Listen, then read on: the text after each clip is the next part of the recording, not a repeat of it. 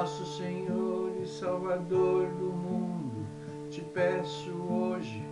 cura da peste, salvação das almas que te necessitam através do teu amor, graça, misericórdia, perdão e paz. Pois o Senhor é o meu pastor e nada me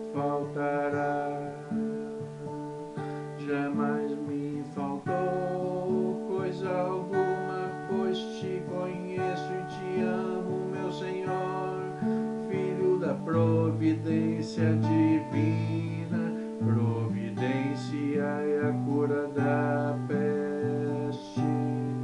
para que toda a humanidade se converta a ti. E siga os teus passos de santidade, que o teu